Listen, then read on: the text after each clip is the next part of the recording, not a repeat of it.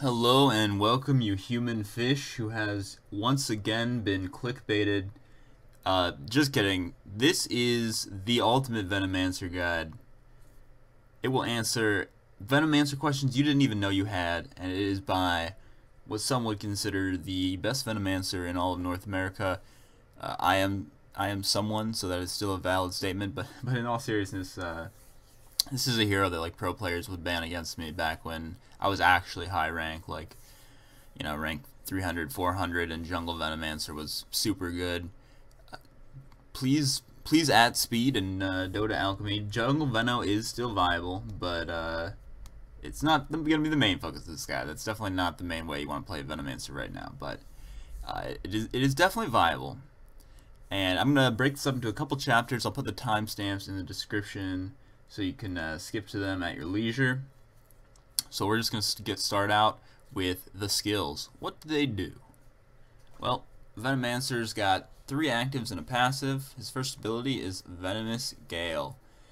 Venomous Gale is a point and click skill shot that is just going to shoot a ball of venom in the direction anyone it hits gets affected. It slows by 50% on any targets. However, that slow does decay linearly over time. So as soon as you hit them, they're going to be 50% slowed. But um, halfway into the spell, which would be 7.5 seconds, because it does last for 15 seconds, halfway they're only going to be slowed by 25. So it's still a pretty strong slow, and the damage is very respectable. At level 1, you're doing 100 magical damage over the course of 15 seconds. And at max level, you're doing 625 magical damage. So you're gaining 175 magical damage per level on Venomous Gale. Your second ability is Poison Sting, which is a passive ability that's going to afflict a minor poison to anyone you or your Plague Ward attacks. It is a simple damage over time at level 1 dealing 36 to 108 to 216 to 360 at max level magical damage, all the while reducing the enemy's move speed by a small amount and their HP regeneration by 15 scaling up to 30%. So what this means is this axe has 5.2 HP regen and if I go ahead and I attack him is 4.5. So remember, he had 5.2, now he has 4.5. And that's at level 1 only. At max level, it's going to be twice the amount that we reduced there, because it's going to be a 30% reduction. And then his third ability is Plague Ward, which is going to summon a ward unit type that is going to start auto-attacking whatever it can. You can control these, select their target, or do whatever you please with those wards. And as for the scaling on this, you're getting 125 HP for the ward per level, and you're getting 9 ward damage per level. Do keep in mind that plague wards are a damage type known as piercing, and you don't really need to know the war the the word for the ward. But what piercing means is that it's doing half damage to heroes. So Right now the axe is taking 6 damage from the ward, even though it says 13 damage. Well, why is that? It's because it does half damage, and then armor value is applied. So uh, the damage from these are very minor, but it does add up, of course, because they live for uh, they live for 40 seconds, and you can set them up really fast, having only a 5 second cooldown. So it adds up, but individually the damage is extremely tiny. However, that that number is fully effective against creeps. So it is excellent for creeps, for farming them. And then lastly, you have your ultimate Poison Nova, which is just an AoE damage over time at level 1, 720. At 2, 1170. 3, 1620. And at 3 with Aghanims, 2250 magical damage over 18 seconds. So if you know anything about Dota, you know that those numbers are freaking insane. Uh, that's the best damage you're going to find in the game, but for a spell at least. But it is over the course of 18 seconds. A lot of things can happen during 18 seconds, like people TPing home, using BKB, a ton of HP regeneration, right? Because it's damage over time, but they're regenerating over time. Don't forget about that as well. And the biggest kicker of all is that it's not lethal. They cannot die to this spell. They will always be left at 1 HP. It is impossible to die to Poison Nova. Unless we're talking about a very fringe situation where they're Ice Blasted at the same time. But in that situation, they're not dying to Poison Nova, really. They're dying to Ice Blast. Alright. So those are all the spells. Let's get into a couple tips and tricks. So why is my Veno sandwiched between a couple axes? That's just to show you the really the only trick there is to the first spell, Venomous Gale. So you see this axe here? I want to cast Gale on him. Uh, I can't do it. What can I do it? I Can't do it. Can't walk past these axes. Uh, actually, you can. Oh, I hit him. I hit him with quite a bit to spare. Click on him. Uh, I can't do it. Just like Iron... Iron? Lion's Earth Spike, this spell has an AoE to it. It's going to go further than the cursor makes it look like. This is very relevant if, let's say, you're walking in on a lion, okay? uh, a lion that is stunned an enemy. They're about to become unstunned. You might miss the gale now, or they're going to blink away after the stun or something like that. You're not quite in range to walk all the way there. Don't worry about it. Just cast it a bit in front of them, and you're going to eke out an extra like 110 distance on the uh, on the gale and hit them perfectly anyway. This is also very relevant for going over cliffs. So, let's say Axe is in the river. And my Venomancer, this is like the ultimate uh, efficiency play you can do with the Venomous Gale. So, here's Axe. I'm going to click on the Axe. Oh no, I can't hit him. My Venomancer's walking like all the way around. Okay, this might be a little much, but let's... This is going to be a little much, I think, but... Let's see. No, actually, wow. See, what did I tell you? I, why, did I, why did I even doubt myself? Why did I even doubt myself? See, I hit him with that by just casting, by just casting in his direction, not actually clicking on him.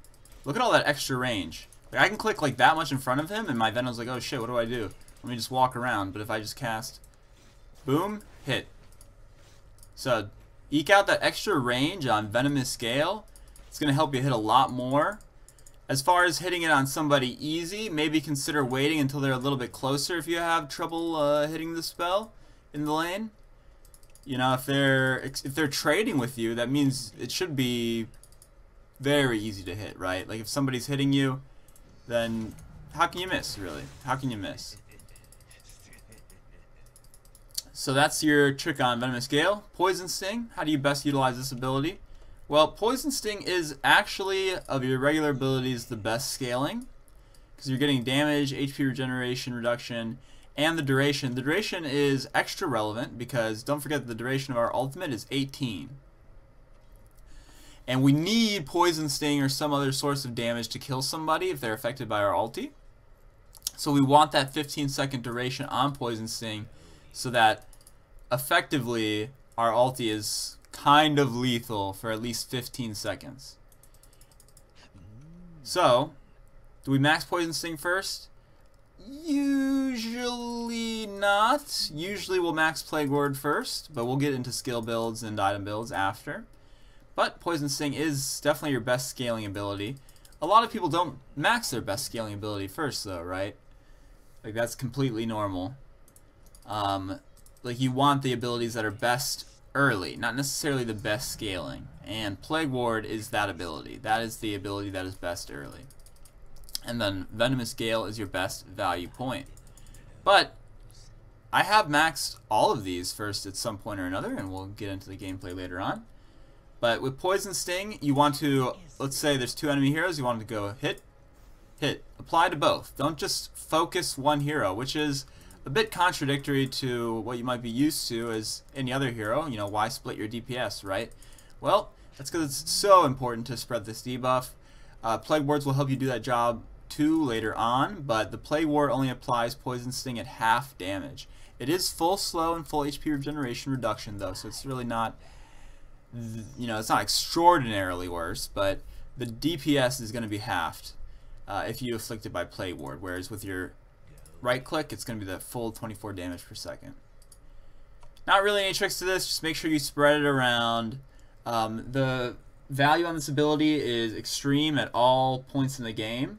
For example, a Tango is going to regenerate you for 112 health, but with a with just level 2 Poison Sting, that same Tango is going to heal not even quite 90. It's going to do 90 heal compared to the 112 that it used to do uh, without Poison Sting. So this is great at punishing people with uh, a lot of regen. Tangos are like just straight up the most popular item in the game. Keep in mind this does not reduce heal, so something like from a Mekansm would not be reduced. If it says heal, or if you think it's a heal like Omniknight Purification, it's not reducing that. But if that heal or spell, air quotes, is from regeneration, like Necrophos, it will reduce that, but it will not reduce heals in terms of burst heal. Or it's not even like burst heal, just like if it's worded as heal. For example, Oracle's Purifying Flames, that's a heal. Even though it's kind of over second over time, it's still not considered regeneration, it's considered a heal. So you're not reducing that. But you will reduce the enemy uh, HP regeneration in lane, make their tangos less effective, and so on. The spell used to do 30 DPS, now does 24, but it did not used to do the HP regeneration reduction. At 16 HP regen per second, this spell is strictly better now. It's still usually better earlier anyway, because of things like reducing the effectiveness of tangos, as well as the uh, the fact that it's really effective against magic resistance now. Like if you just got pipe, you could almost never kill somebody with poison sting damage. Like it would like heal more than this would deal per second. So against things like pipe and hood or whatever HP regeneration source, way better, and in the late game, way better. Alright, Plague Ward. This is kind of your signature ability. Put this on cooldown at all times. This should never be... I'm going to turn off free spells just to make it clear. Make sure this is never ready. You always want to use this if it's feasible. It's only 20 mana. As long as you have good mana, be using this. Even if you don't have good mana left, just use it anyway. This is like a miniature ward. See this? This is the same thing, but it attacks. This is just like an observer ward the first, like, if, if this is me pushing right now, obviously this is just demo mode, let's pretend I'm pushing this tower. Boom, you want to put a ward there. You want to put a ward here to see if they're TPing in the trees. You should be using these just like their observer wards. And then obviously once you got the observer ward plague wards out, if you will, then you're going to put them down with the purpose of defending your tower or pushing the enemy tower farming, whatever. But you got to use these things just like observer wards. These should never be ready. Anytime this is cooling, uh, not cooling down, you're probably making a mistake. This is just your bread and butter ability. It's going to be so important to have these things out in the fight because really Veno has short attack range and usually is dying pretty early on in the fight because he's pretty fragile and he wants to go in first, so you might not be able to right click everybody in the fight. That's where these buddies come in handy to make sure that your ulti can effectively be lethal because if you do not have Poison Sting or some form of DOT on them, this will never ever lead to a kill on Poison Nova. And yes, you can micro these. Uh, a lot of us hate microing, but uh, if you want to be good at him, you're going to have to micro him or his wards at least a little bit. Make sure you're spreading that poison sting.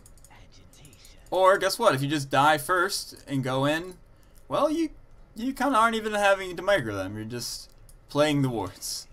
So even when you die, you're gonna have at least a ward to play. Uh, I'm I'm not being sarcastic here. It is important you play the ward when you die. Make sure you spread it out on everybody. Get that slow out on everybody. And that's really all there is to the Plague Ward. Venom not a super complicated hero or anything. Anyone watching this can play this hero effectively. And then you have the ultimate Poison Nova. I would say when it comes to using Poison Nova, step one is you got to know the AoE, and you got to know a little bit of the mechanics to it. There's a little bit of a mechanic. So the the uh, AoE is, you know, as you can see here, as you can see, that's about the max range right there is hitting that axe at that distance.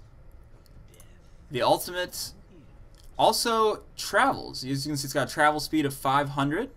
So, like if this demo axe here could, if this could end, there we go. So this axe, if I move very fast here, yeah, there you go. Dodge. So you can dodge it. So if you see somebody at the edge of your range here, make sure you're walking into there. Make sure you're walking into them while it's casting. This will like hit anyone that enters the uh, AoE. We can get another axe here. Let me give him a blink dagger. Alright, just try to do this really fast here. So as you can see, this axe will be out of out of the AoE. But if you blink in, you see that? That cloud that lives for a second? Anyone that comes into contact with the cloud during the second that it's coming out will be affected. So when do you best use the ultimate? Just as soon as you can? How many people do you need to hit? Well, yes. Yes, you do want to use it as soon as you can because remember, it lasts for 18 seconds. So you don't want to use it at the end of the team fight at that point you're not really affecting the outcome of the fight. Like it will maybe help you pick up a kill that you would not have gotten, but as far as changing whether you win or lose, it does damage too slowly to change really whether you win or lose. Uh, this does this damage does cancel blink daggers as well. The poison sting damage does not. The hits from plague ward and venomous gale do, and poison nova, but not poison sting. So get this out early. I would say if you can hit two or more, that's amazing. Like two, that's fine. If it's a pickoff, feel free. Just use it on one person. But yes, in a team fight, hitting only one person with this is probably not good enough. But uh, certainly, I'm comfortable with anything more than one. And you do want to use this super duper early because, like I said, 18, 18 seconds, that's, that's a really long time. You want to use it as early as possible so you can change the team fight uh, in your favor. On to my favorite part, the item and skill build. Venomancer is very good right now. The best he's been, I would say, since whatever patch that was where he was extremely effective in the jungle. Here's why he's so good right now. Firstly, slows are more effective than they used to be with the boots and the movement speed changes. So boots now giving 45 movement speed. Let's say you're a 300 move speed hero. That means they're moving at 345. You slow them by 50%. Now they're walking at 172 and a half move speed. Well, how did it work before? Well, before they were 300 move speed plus 15%, so still 345. But when you slow them by 50%, they actually moved at 195 move speed. And that's because you could not slow percentage based increases. So you're slowing them noticeably more because you got slows from Poison Sting and Venomous Gale. You're, you're slowing them noticeably more than you used to only a, a month ago. Additionally, the item build on Veno is the most streamlined and most effective that it has ever been. Part of the reason is also items that you hate seeing got got nerfed hard. Aura items, things that effectively were heal over time, these items got hard nerfed. Hard nerfed. And that is a big, big win for the Venomancer. So, let's just jump right into the guy. Let's start with abilities first, because it is easiest. So, what do you do level 1? That's going to be up to your own discretion. If you need a kill, or if you need Venomous Gale to make your support do a lot of damage, then we'll go that level 1. If you don't, we'll go Poison Sting level 1. So for the sake of this guide, we'll say Venomous Gale level 1. Poison Sting 2, Venomous Gale 3, 4, 5. And again, there's a ton of deviation in the skill build, but let's, if this was enough to win your lane, then we pivot out of these skills completely. If this was enough to win your lane, and we'll just go into maxing Plague Ward right away. if this was not enough points in these two ability to win your lanes, go ahead and take your ulti at 6, take Poison Sting at 7, and then go into the Plague Wards. But this is, again, just the most cookie cutter build that I can provide right now.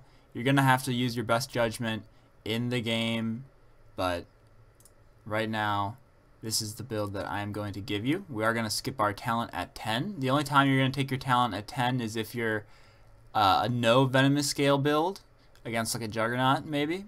Then you'll just go ahead and you'll take Plague Ward duration at 10. Or if you're a max Venomous Gale build, for whatever reason, maybe you were 1v1 versus a Void Spirit or something, and you just wanted to win your lane super hard, and you had a ton of experience. We'll instead opt to take our talent at 13. We're going to go Venomous Gale CD, but uh, the, this talent is, is viable too. And then at 15, we're going to go the Gale Impact Summons Wards. This one did not get affected by the talent nerfs of 7.26b, so it's just that much better now. It was already the better one, but it's even better now. Poison Nova Duration. This spell Lifesteal just it just kind of sucks. It's just really reactive and situational. And the Plague Ward damage.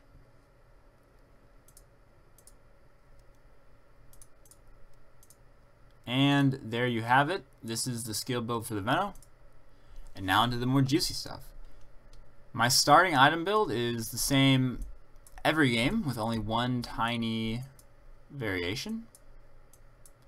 And that would be, do you want Ring of Protection or do you want Circlet? You can expect to be right-clicked a lot in any lane, realistically, and that's why you'll usually go Ring of Protection, but maybe if you don't expect to be right-clicked a ton, like it's mid lane and they are melee, or whatever the reason is, then just go ahead and go the Circlet for those extra stats. Both of these items build into Urn, so we will use everything here eventually. And we will probably straight up just rush Urn before even Boots or Wand. Pick up a nice little Windlace as well. Don't be afraid to pick up wards and such. And the first major item we're going to go is Spirit Vessel. Spirit Vessel is extremely good right now. Especially for a core offlane hero that's just in the middle of the fight. You're just passively re uh, reducing regeneration on everybody. Add that on top of Poison Sting, and it just gets to be ridiculous. So this is going to be your straight up first item. Feel free to stop by for a Bracer at some uh, point in there, maybe a Wraith Band if you're mid or carry. As for our boot upgrade, well, you don't even have to upgrade them really. You can go a lot of boots. Uh, most commonly, I'll go treads at the moment. You can go travels. You can go greaves. In fact, before the most recent patches, this was normal. You would usually just go your auras with greaves and pipe, just like every other offlaner, right? That was like every offlaner's build, but um, thankfully they kind of nerfed the aura items really hard, which has opened up a lot more build variation which again is a huge benefit for Venomancer because this guy hated the sustain items and you didn't really have synergy building them. You only built them because they were so good. So we're going to opt for treads here. Uh, some people go phase. Don't do this. Just don't go phase. It really sucks. The move speed is so minor. The damage, like, you want things like urn and small items first anyway, so like the time you're gonna complete phase boots is gonna be the laning stage is gonna be done. So like using these to bully somebody is is hardly gonna be relevant anymore. Whereas this nice DPS increase from treads or HP increase is gonna end up being way more beneficial for you. So we got our at this point our inventory is vessel, treads, wand, windlace and now we have a couple things we can stop off for. So one that I'm going recently is uh, Blade Mail. This item is just really cheap, and it has a little bit of synergy with Veno, only in the sense that you deal damage so slowly that you get out all your spells, and then what do the people do? They just focus you and murder you. Well, then you can turn on your Blade Mail, and now that damage over time, it looks a lot more scary, because they're losing a lot of HP fast from Blade Mail, and then that damage over time starts to actually get to the point where it could be lethal soon, as opposed to 15 seconds down the line. So this you don't have to go the blade mail, but I will throw it in here for this particular uh, guide. And then after that, I will still usually go for a pipe or a halberd. Halberd's a big one right now, and is what I'm building more so than even pipe. Venomancer has no defensive utility at all. Literally nothing he does can really save him from getting killed or gone on. So something like Halberd is really effective. You don't have a stun, you don't have anything defensive. So Halberd super duper effective. Uh, nice on just an offlaner hero type of hero in general to live longer, and it will disarm people that otherwise could just focus you and destroy you. Pipe, if there's a lot of magic damage, still a fine item. Very expensive now, but still still a completely fine item. And then we will go ahead and we'll put in an Aeon disc and if the game somehow goes super duper late, we will go ahead and get a sheep stick. And that will be your sixth slot right there. Vessel, boots, halberd. You don't need pipe every game, but maybe pipe and disc, blade mail, and then you can maybe replace something for this scythe at the end of the game. Aeon Disc is nice because if you just again if you get bursted, well, you're that's just it. Like there's nothing there's nothing you can do. Whereas if a bunch of people gather around you and they can't kill you because of Aeon Disc, bam, you just hit a four-person ulti. Also, the the downside, air quotes, of not dealing damage, it kind of doesn't matter. Like you still actually do poison sting damage. It doesn't prevent poison sting damage. Uh, it will prevent the ulti damage, but who cares? The ulti lasts forever. So losing out on a bit of that matters not at all. But there is a ton of situational items. This guy is just, you know, a utility offlaner. You can build a bunch of different things. The biggest one I might get questions about is the Aghanims. When do you go the Aghanims? So the Aghanims did get a little bit better with specifically 7.26b because they made creep bounties higher again.